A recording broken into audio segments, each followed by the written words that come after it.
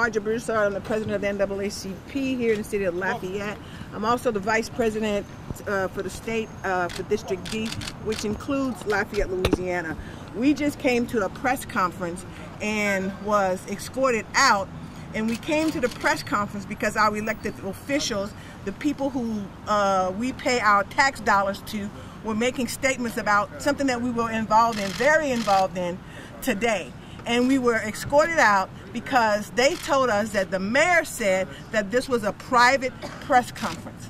Okay, so we want the mayor to know that we are definitely going to address him tomorrow at 5 o'clock at City Hall. Uh, we are not like other communities. We are a lot worse than other communities when it comes to race relations because our mayor, I'll say it, our mayor is racist. Everything that he has done since he's been in office has impacted the African American community negatively. And it's time for this to stop. Mark Garber has, has uh, help me out somebody. Materialized. Uh, militarized. Militarized our our uh, the sheriff department. And today we heard what he said. He threatened us. We don't want Mark Garber's militarized uh, sheriff department in our communities. We can care less of what he thinks. He, we can care less what Mark Garber thinks and what he's and, and his threat. And tell him he he too can meet us tomorrow at City Hall. All citizens who stand for justice, we want you to come out tomorrow at 5 o'clock at City Hall and we're going to address our mayor, our mayor, our, our mayor Josh Guillory. Now I'm going to turn it over to Jamal. Folks, I, what I heard today was dog whistling, right? Like this just racist behavior from a mayor president who takes his calls from Donald Trump. This is a national issue that has trickled down to Lafayette, and we didn't invite it here. Was here already. Donald Trump gave him permission to be reckless with the sheriff.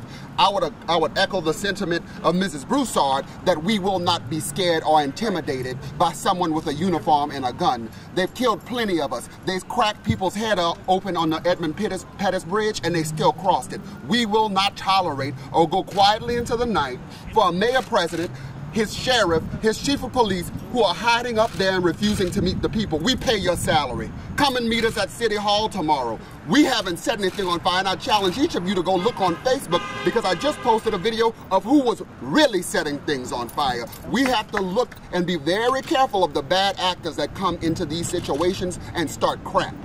The NAACP, the people here, weren't part of that. We weren't blocking traffic. However, however, what we will not tolerate is this de demonization of people of color that came together to celebrate the life of a man who was gunned down with his back turned. And we didn't even have the very basic decency to mention his mother in the press release. They got some people that's low. Josh Guillory is lower than a dog for that. Amen. We ain't got time for this, folks. Lafayette needs to do better. Come tomorrow. Insofar as I'm concerned, we need a recall petition. Yes. Uh, for over uh, the last 12 years or so, we've been fighting uh, for better policing in Lafayette. We have been uh, requesting that that all law enforcement agencies within this jurisdiction of Lafayette Parish or the greater Lafayette area look at the 21st policing recommendation or guidelines that have been established under the Obama administration. We, we need an analysis to find out what are we doing different that, that can be done better. Because we know that as long as our people are getting killed, what good is it to have people who will serve and protect, and when you serve and protect and somebody gets killed? When a lot of times there's a dispute and no police shows up and nobody dies. So this is something obviously wrong with our process. Now, we know that our policing practices in the United States were based on slavery traditions, which in most communities, when the slaves were free, they created a police force to chase after the runaway slaves or the free slaves, to keep them in control. And our current policing policies and practices do not are not much far removed from that. That's why we see mass incarceration of black people. That's why we see disproportionate uh, killing of black people by police police officers. When 80% of your investigatory uh, uh, investigatory assets go into one segment of the community, which might be less than 20% of your community, 80% of the money goes in the community where black people live. Who are you going to catch? Who are you going to put in jail disproportionately? Who are you going to kill disproportionately? Right. And when everybody looks at this video, like I did, who can justify the need for lethal force in the manner that it was delivered. To, to, to, to try a man, to find him guilty, and to execute him without any process of law. That's what happened there last night. Right. That mother, right. that family did not deserve that, and young Pellerin did not deserve that as well. But we've seen it happen too many times. We've seen it happen over and over and over. And yet they think that it's going to fade away. Right. Uh, it's a hoax. It's going to go away. It's not going to happen. There will be a sustained movement in Lafayette, and either the leaders that we have elected now or in place now will come to recognize that we as a community want, we're not trying to fight anybody. We elected people to do their job. Otherwise, we'd go to bed at night at a decent time rather than being out here trying to fight for justice. But we will not be, we will not stop. We'll be relentless. And our, our, our coalitions are building all across this community. There are a lot of people now who understand. Right. And to our white community especially, all of the all of the rallies we did all summer long, Black Lives Matter rallies, so many new people, new friends that I have who brought that sign that said, white silence is white violence. Now is the time that we need to stand with us. Stand with the black community because the problem with policing is not just a black problem. It's going to be a community-wide problem, right. or is a community-wide problem. Right. Thank you very much, Press, for being here. Devon. Tonight, I would like to say thank you, of course, for those that recognize that no, it was not the NAACP that incited any of the uh, the events that took place after the event. But what I was saddened by was that the administration did not even acknowledge that the reason why these events took place was because of the climate they created. Right. What I was saddened by was that the administration didn't even have the, the, the, the compassion or the heart to send their condolences to the mother and the family of this young man, whether no matter what the situation turns out to be, somebody lost their life last night. That's right. Some a man died last night. A man was murdered last night. The fire chief did and, and, and the, yes, yes. The fire. I'm, let me be specific. The mayor president, our leader of this city and of this parish, did not give his condolences to the family, and that saddens my heart. So what we have is a movement of people and usually what happens sometimes in, in, that movement is that people, some people may not be may not be able to be maintained within the movement because of their frustration, because of their pain, and because of their anger. That does not justify any illegal acts. But the question that I must ask and what we have been fighting for for the last three months is to get under the roots of these problems.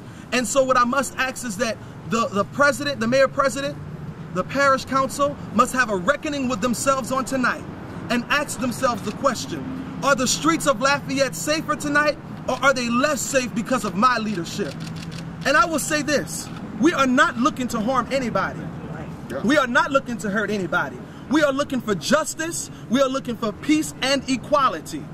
But it, is, it baffles me how these administrations will protect these buildings, they will protect their integrity and how they look on the national stage before they protect and preserve life. Josh Guillory is more concerned about being recognized by Donald Trump and by trying to push some law and order um, specialty here in Lafayette so he can be looked at by him than actually protecting and preserving life in this city.